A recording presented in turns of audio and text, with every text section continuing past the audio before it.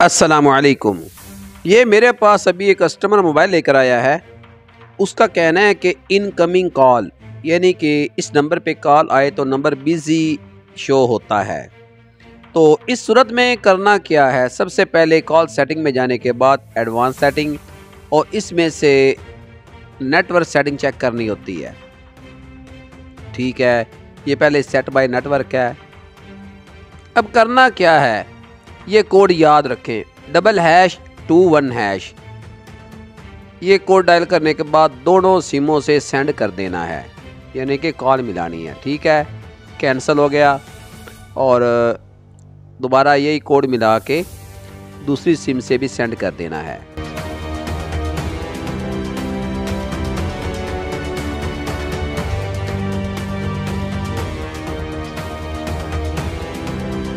अब कॉल मिलाकर देख लेते हैं।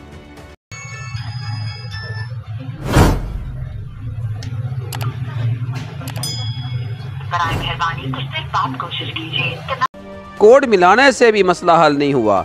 अब करना क्या है? मोबाइल को रिस्टोर कर देना है।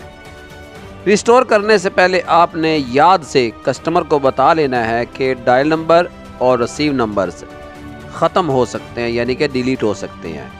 अगर वो इजाज़त दे दे तो इसको रिस्टोर कर देना है। मोबाइल रिस्टोर हो चुका है। अब कॉल मिलाकर देख लेते हैं।